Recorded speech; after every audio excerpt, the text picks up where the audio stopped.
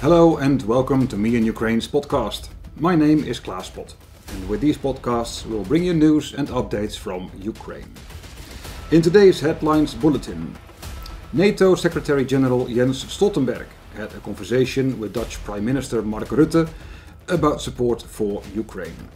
Mark Rutte wrote on Twitter, I talked to Jens Stoltenberg about the situation in Ukraine and in particular about the need for continued military supplies in the fight against Moscovian aggression.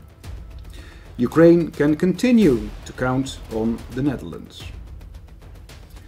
Serhiy Prytula had raised $20 million in a crowdfunding campaign on Ukrainian television in order to buy three Bayraktars. The company Baykar refused the money and donated three of their famous drones. Now with the 20 million, Prytula has bought an ICEYE satellite. This satellite can conduct surveys at any time of day and in any weather conditions. A total of 17 civilians have been killed during night and morning missile attacks by Moscovia on the city of Kharkiv. Two more civilians were killed in a missile strike on the city of Krasnohrad. Moscovia is massing large numbers of missiles and ammunition near the border with Ukraine. Trainloads of S-300 missiles are to arrive around the 20th of August.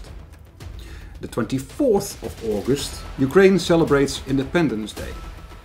Moscow will launch a large missile attack on Ukraine, also from the territory of Belarus.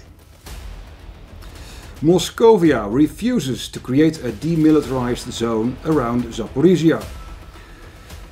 Moscow's Ministry of War spreads the propaganda claiming that Ukraine is preparing a strike on the nuclear plant, while Moscovian troops are already preparing a provocation for tomorrow at the nuclear site. It's obvious that Moscovians have no regard for life even when it concerns their own. To justify their actions, their excuses are mind-bogglingly ludicrous.